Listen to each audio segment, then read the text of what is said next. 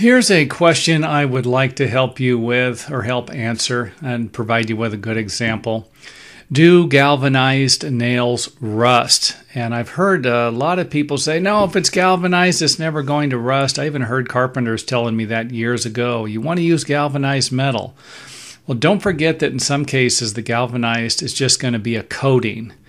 And uh, if the coating gets chipped or wears off or separates, then you are going to be more susceptible to rust also.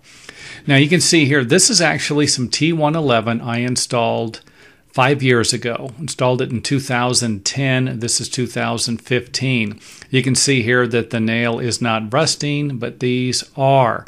And I would imagine have something to do with moisture in the area.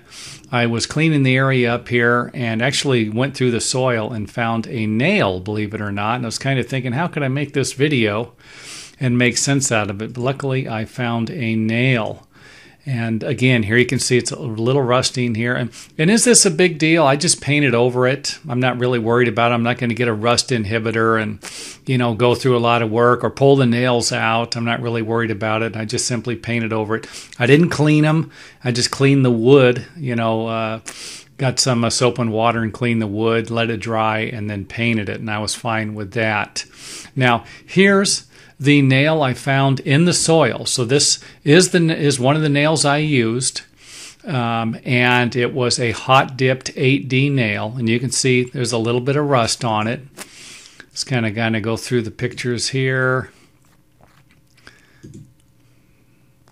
You know, is and it's not rusting. It's kind of weird how a little bit of rust, I guess you can see here.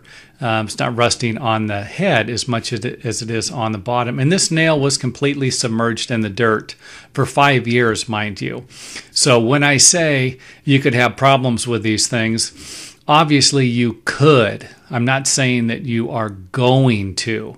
You need to keep that in mind.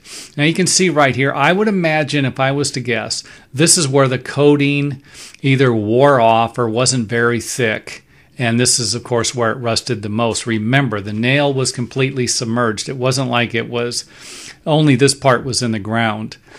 But main point why I'm making the video is just to tell you, and I've been telling people this for years, galvanized nails, zinc coated nails, nails that are coated, um, that have a coating over them, that have a, a layer um, uh, protective layer over them. If you drive them in with a nail gun, you can actually chip the coating off. I've seen that plenty of times.